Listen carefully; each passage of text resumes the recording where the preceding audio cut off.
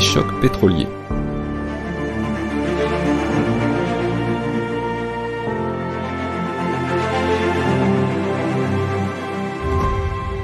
Bonjour à tous. L'augmentation du prix de l'essence que l'on connaît actuellement n'est pas un phénomène nouveau. En 1973, les pays occidentaux, dont l'économie était alors très dépendante du pétrole, subissent un terrible choc pétrolier.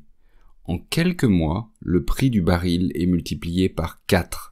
Alors que la situation économique se rétablit tant bien que mal, un deuxième choc pétrolier accentue les effets du premier en 1979. Les économies occidentales qui connaissaient depuis 1946 une période de forte croissance que l'on appelle les Trente Glorieuses entrent alors dans une crise durable. Et pourtant, celle-ci ne s'explique pas seulement par ces chocs pétroliers. Alors oui, si ces derniers restent dans la mémoire collective comme la cause majeure de la crise qui s'installe après 73, ils sont en fait la face émergée d'un iceberg de difficultés beaucoup plus profondes. Voyons donc ce que sont les chocs pétroliers et quelles en sont les conséquences. À partir de 1946, les pays occidentaux et certains pays asiatiques connaissent une période économique exceptionnelle.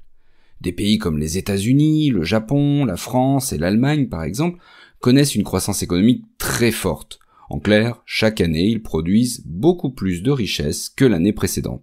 C'est la prospérité, le plein emploi. Le chômage est à des niveaux très bas.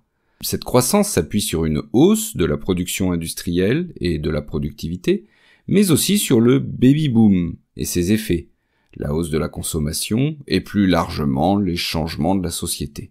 Jean Fourastier, un économiste français, a qualifié cette période en disant qu'il s'agit des Trente Glorieuses. Alors en fait, c'est un jeu de mots qui fait allusion aux Trois Glorieuses, le nom que l'on donne aux trois glorieuses journées de révolution de 1830, mais la période durant une trentaine d'années, cela devient donc les Trente Glorieuses.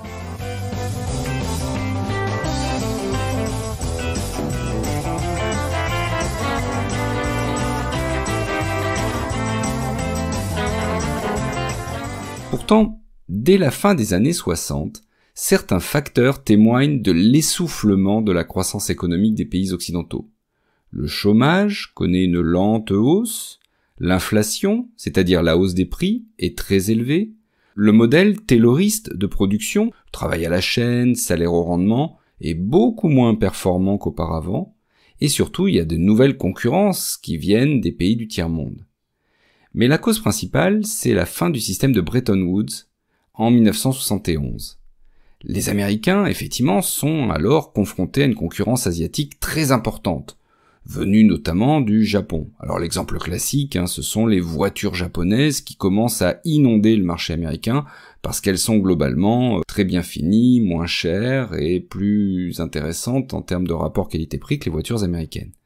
Alors le président Nixon veut d'un côté limiter ses importations étrangères pour protéger son industrie nationale, et de l'autre il veut rendre les produits américains beaucoup plus intéressants à acheter à l'étranger, notamment en les rendant moins chers. Mais les Américains sont pénalisés par le système de Bretton Woods, notamment le dollar dans ce système est une monnaie forte et c'est surtout la seule monnaie convertible en or. Donc, sans rien demander à personne, unilatéralement, comme on dit, Nixon décide plusieurs choses. D'abord, imposer des taxes de 10% sur les importations. Ensuite, arrêter la convertibilité en or du dollar. Et troisièmement, baisser sa valeur. C'est ce que l'on appelle une dévaluation. Cela entraîne un désordre monétaire généralisé. Comme le résume John Connolly, le secrétaire au Trésor américain, aux Européens qui s'inquiètent de la situation, je cite, le dollar est notre monnaie, mais c'est votre problème. Et donc, c'est un contexte économique déjà fragile, et c'est dans cette instabilité qu'intervient la guerre du Kippour. Le 6 octobre 1973, la Syrie et l'Égypte déclenchent une attaque surprise contre Israël, le jour de la fête religieuse du Kippour. Bon, c'est en quelque sorte la réplique de l'attaque surprise israélienne hein, lors de la guerre précédente, celle des six jours, en 1967 les États-Unis viennent immédiatement en aide à Israël en lui livrant des armes. Mais en représailles, les États arabes, membres de l'OPEP, l'organisation des pays exportateurs de pétrole, décident, lors d'une réunion des 16 et 17 octobre 1973, d'augmenter de 70% le prix du baril de brut. Bon, le baril, c'est l'unité de mesure commune du pétrole. C'est environ 159 litres. Et donc en octobre 73, le prix du baril de pétrole augmente de 70%. Et pire encore, les pays producteurs décident de réduire chaque mois leur production de 5%. Je cite, tant que la communauté internationale n'aura pas forcé Israël à évacuer les territoires occupés en 1967. Le pétrole devient donc une arme géopolitique, un moyen de pression politique sur les Occidentaux, et aussi un moyen de pression économique. Bon oui, les pays producteurs de pétrole reprennent aussi la main sur leur production face aux compagnies occidentales en imposant leur prix et en imposant un niveau de production. La conséquence est très simple. Entre octobre 73 et janvier 74, donc en 3-4 mois, hein, le prix du baril est multiplié par 4. Il passe de 2,32$ à 9 dollars.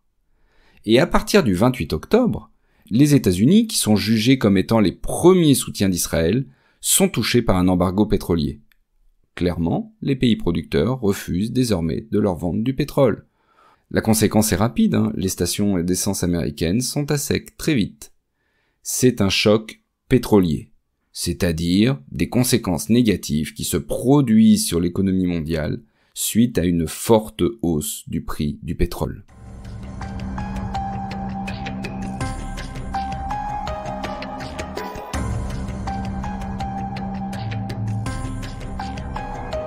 Les pays industrialisés prennent alors conscience de leur énorme dépendance énergétique au pétrole. Cette pénurie de pétrole provoque aussi une sorte de panique et les prix augmentent très fortement. Alors on crée une agence internationale de l'énergie hein, pour gérer cette crise d'approvisionnement. Le 18 mars 1974, l'embargo est levé. Mais ce choc pétrolier a installé durablement les économies mondiales dans une crise économique laquelle crise entraîne l'apparition et la montée du chômage dans les pays riches et dépendants du pétrole. Alors de nombreux pays se lancent alors dans des campagnes d'économie d'énergie ou de développement de sources d'énergie alternatives, comme en France où le gouvernement prétend En France, on n'a pas de pétrole, mais on a des idées. Ainsi, décidé dès novembre 1973 et en réaction à ce choc pétrolier, le programme de construction de 13 centrales nucléaires est chargé de réduire la facture énergétique du pays, qui dépend beaucoup trop de l'or noir. Et cela ne s'observe pas seulement en France, hein. beaucoup de pays se lancent aussi dans le développement du nucléaire civil et des énergies alternatives. Alors il y a aussi des mesures d'économie d'énergie hein, qui sont décidées, comme le programme intitulé Chasse au gaspille en France et même certaines mesures qui sont un peu anecdotiques avec le recul. Hein. On va arrêter les émissions de télé après 23 heures, on va éteindre les vitrines la nuit dans les magasins, ou on limite la vitesse sur les autoroutes. Quoi qu'il en soit, à partir de 1976, une lente reprise économique est en train de s'amorcer. Bon, elle va pas durer très longtemps. Hein. Trois ans plus tard, un deuxième choc pétrolier éclate, en 1979, suite à la révolution iranienne. Alors, une révolution politique, des troubles politiques dans l'un des plus grands pays pétroliers de la planète. Rappelons que les gisements iraniens sont à l'origine de la puissante société britannique BP. Et donc la production mondiale de pétrole est largement affectée, et la situation s'aggrave avec la guerre qui éclate en 1980 entre l'Iran et son voisin l'Irak, qui est un autre pays pétrolier. Et là, le prix du baril de pétrole connaît une hausse à nouveau très importante. Pour vous situer, en 1980, le prix du baril est arrivé à un tarif 20 fois plus élevé qu'il était en 1972. Il est passé ainsi de 2,5 dollars à 40 dollars.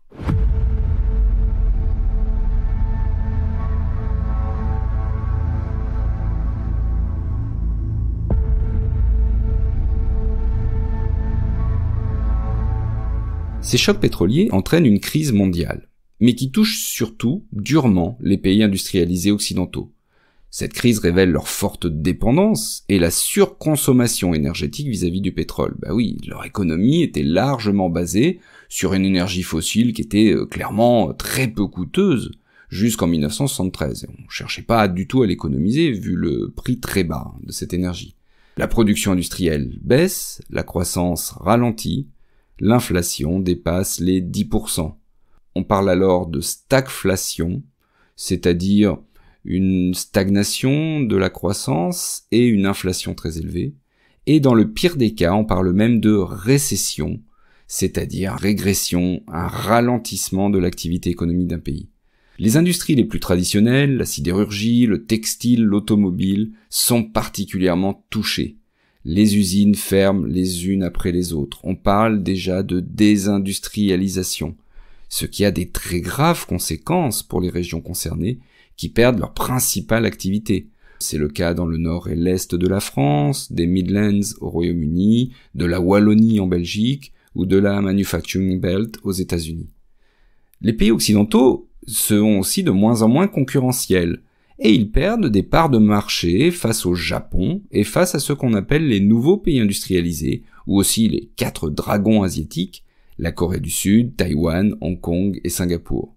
Quant aux pays pétroliers, la hausse des prix leur assure des revenus nettement plus confortables et leur permet un développement accéléré. Pensons aux Émirats du Golfe Persique, par exemple, hein, comme le Qatar.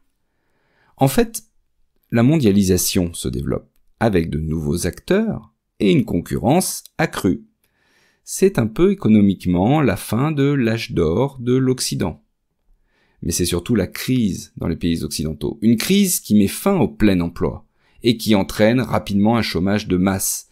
Chômage de masse qui va toucher les jeunes, les femmes, les immigrés, les ouvriers et les personnes peu qualifiées. Les prix augmentent sous l'effet de l'inflation alors que les salaires stagnent du fait de la crise économique. Le pouvoir d'achat, du coup, baisse, et la vie devient beaucoup plus difficile pour des millions de personnes, avec une aggravation des inégalités sociales.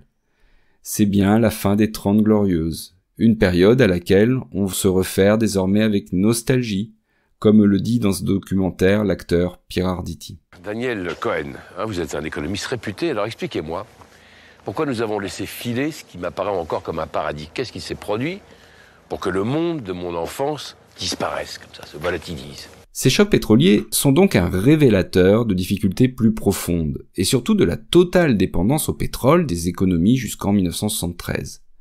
Tous les pays importateurs vont alors chercher à réduire cette dépendance en diversifiant leurs sources d'énergie. Les discours écologiques commencent à porter, car ils s'appuient aussi sur cette réalité économique. Les pays importateurs cherchent donc à limiter leurs achats de pétrole, surtout que son prix ne cesse de monter. D'ailleurs, à chaque événement géopolitique majeur affectant le Moyen-Orient, ou pour toute hausse brutale du cours du pétrole, on redoute désormais un nouveau choc pétrolier. Et c'est bien le signe que le traumatisme de ces deux chocs pétroliers a été important. Alors, en parlant de hausse des prix du pétrole, précisons qu'à titre indicatif, le baril de brut de pétrole est à 110 dollars actuellement, alors qu'il n'était qu'à 2 dollars avant le choc pétrolier de 1973. Quant à la crise qui se met en place à partir du milieu des années 70, on ne parvient pas vraiment à l'enrayer par des politiques efficaces. Que ce soit des politiques de relance de la consommation, un peu sur le modèle de Keynes hein, dans les années 30 après la crise de 29, ou à l'inverse des politiques d'austérité, elles entraînent euh, l'une et l'autre surtout des problèmes et des conséquences négatives. Et c'est face à ce sentiment d'impuissance qu'apparaissent alors de nouvelles théories économiques. C'est le cas du néolibéralisme incarné au Royaume-Uni par Margaret Thatcher ou aux États-Unis par Ronald Reagan. Mais c'est une autre histoire. Merci d'avoir écouté jusqu'au bout cet épisode. Si vous l'avez aimé, n'oubliez pas de laisser une note sur Spotify ou sur Apple Podcast et si vous le souhaitez, un petit commentaire. Ça fait plaisir et ça permet de rendre le podcast plus visible pour de nouveaux auditeurs. Et à très bientôt pour une nouvelle page d'histoire.